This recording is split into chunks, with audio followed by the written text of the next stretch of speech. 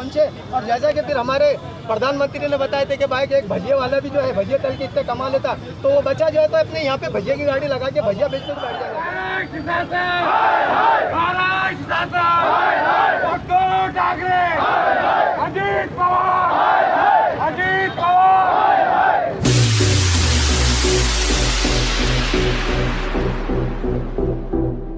ईमान के साथ आए हैं कि मैं इसको जो है तो स्पोर्ट यूनिवर्सिटी औरंगाबाद से जो है तो पूना को मुंतकिल कर दी गई।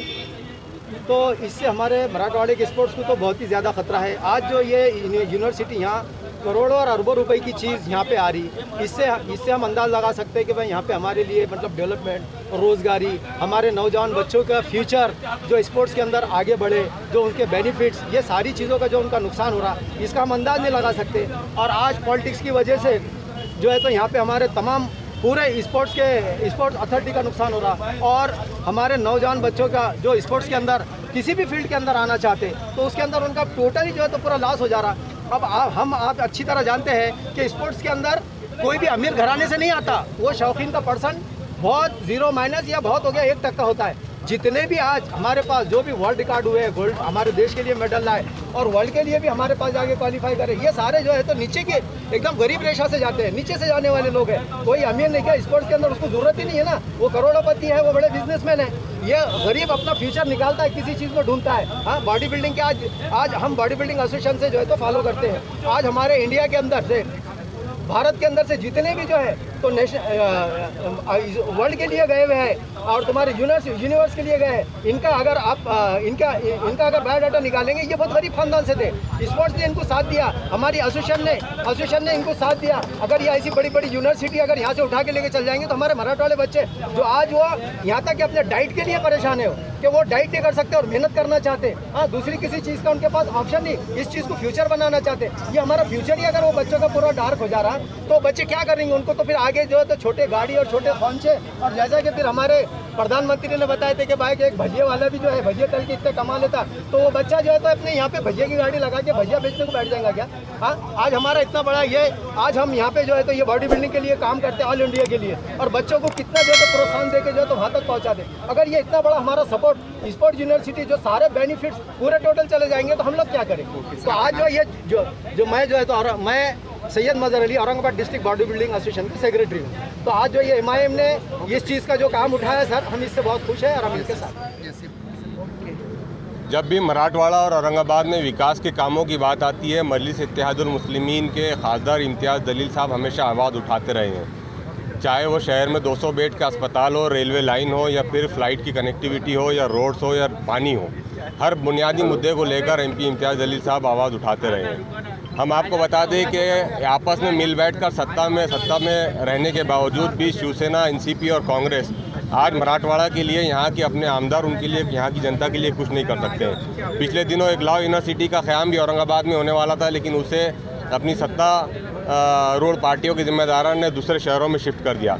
अभी हाल ही में औरंगाबाद में एक इंटरनेशनल स्पोर्ट्स यूनिवर्सिटी का क़्याम अमल में आने वाला था, लेकिन कहीं ना कहीं शिवसेना एनसीपी के आगे मजबूर है और एनसीपी के बड़े दिग्गज नेताओं ने उसे वापस पुनः शिफ्ट कर दिया।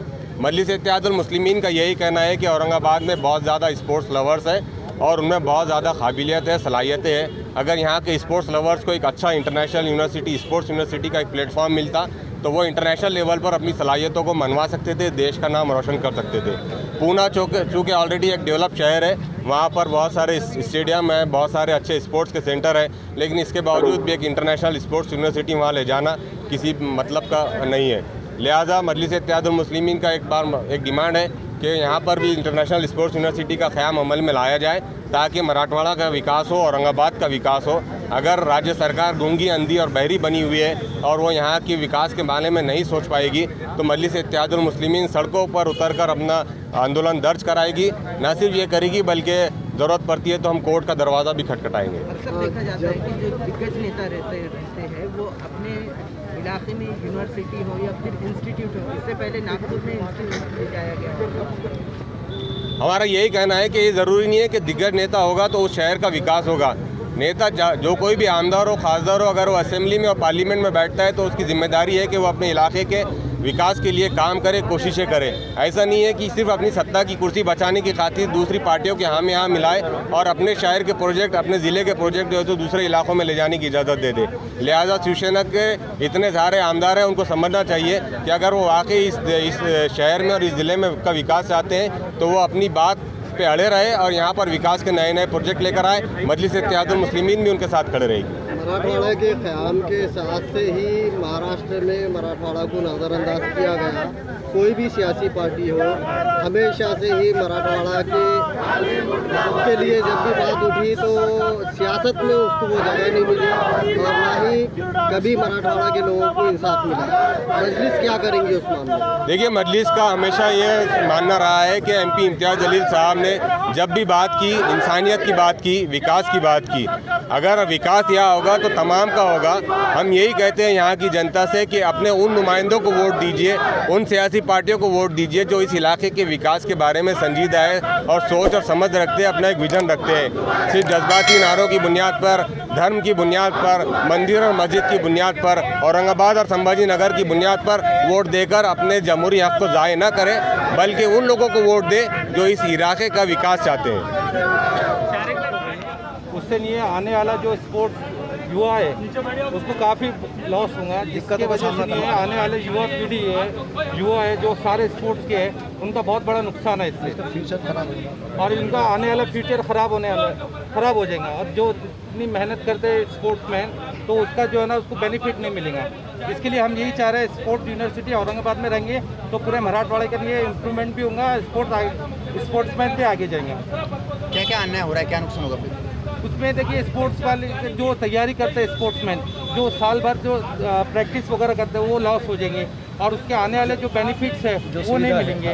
और उसके जो जो प्लेयर्स के जो आने वाला जो नुकसान है वो भरपाई कौन करके देगा? देश का क्या नुकसान होने वाला है इससे देश का ये नुकसान होने वाला है जो आने वाला है अपने इंडिया के लिए जो गोल्ड मेडल निकालता है जो आउट ऑफ़ कंट्री में जो स्पोर्ट्समैन खेलता है तो गोल्ड मेडल अपने हाथ से चल जाएँगे सारे आपका नाम मेरा मोहसिन अयूब खान और आप किस खेल में माहिर हैं मैं बॉडी बिल्डिंग मेरे फेडरेशन है Aurangabad district body building and sport association और आपने कौन सा खिताब जीता है अभी तक मैंने औरंगाबाद श्री मराठवाड़ा श्री विदर्भ श्री और महाराष्ट्र ग्रुप विनर है नेशनल चैंपियन हूँ ग्रुप विनर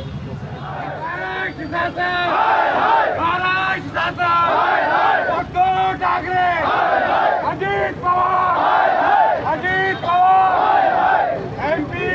क्या दलील तुम आगे बढ़ो। हम तुम्हारे साथ हैं।